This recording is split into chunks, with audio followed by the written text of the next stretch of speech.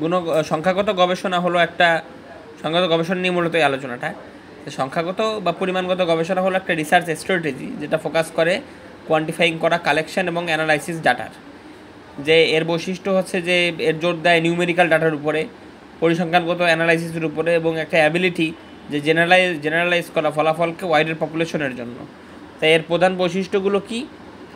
যে numerical data যে এটা কাজ করে সংখ্যা নিয়ে এবং মেজারমেন্ট নিয়ে, যেমন পরিসংখ্যান পার্সেন্টেজ এবং গড় স্ট্যাটিস্টিক্যাল অ্যানালাইসিস যে ডাটা অ্যানালাইজ করা হয় স্ট্যাটিস্টিক্যাল কৌশল অনুযায়ী যে আইডেন্টিফাই করতে প্যাটার্ন রিলেশনশিপ এবং ট্রেন্ড জেনারেলিজিবিলিটি যে ফলাফল অ্যাপ্লাইড করা হয় বড় পপুলেশনের জন্য স্পেসিফিক স্যাম্পল স্টাডির বাইরে যেও।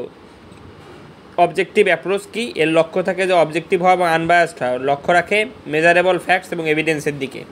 ডিডাকটিভ রিজনিং, যে এটা শুরু হয় একটা হাইপোথিসিস থেকে এবং টেস্ট করে ইম্পেরিক্যাল ডাটা ব্যবহার করে। যে অর্থাৎ অনুমিত অনুমিত যুক্তি এই পদ্ধতিতে সাধারণভাবে একটি ধারণা বা অনুমান থেকে শুরু করা হয় এবং তারপর পর্যবেক্ষণ বা পরীক্ষার মাধ্যমে সেই ধারণার সত্যতা পরীক্ষা করা হয়। অর্থাৎ সাধারণ সত্য থেকে বিশেষ সত্য নির্ণয় করা হয়। উদাহরণ হলো ধারণা, সব মানুষ মর্ত। বিশেষ সত্য হলো সোহাগ মানুষ। অনুমিতি সোহাগ মর্ত। এই উদাহরণে সব মানুষ মর্ত। এটি সাধারণ সত্য। সোহাগ মানুষ, বিশেষ সত্য মাইনর প্রিমাইস আরেকজন মেজর প্রিমাইস এবং সোহাগ মর্ত একটি অনুমতি কনক্লিউশন আচ্ছা এবার আবার আলোচনায় মানে আবার আগের জায়গায় আসি।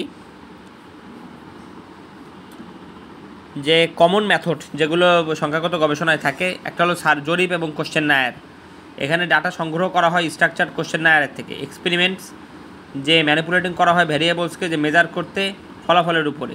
অবজারভেশনস অবজারভিং এবং রেকর্ড করা হয় ব্যবহার অথবা ঘটনাকে একটা স্ট্রাকচার্ড ম্যানারে এক্সিস্টিং ডাটা অ্যানালাইসিস অ্যানালাইজিং করা হয়।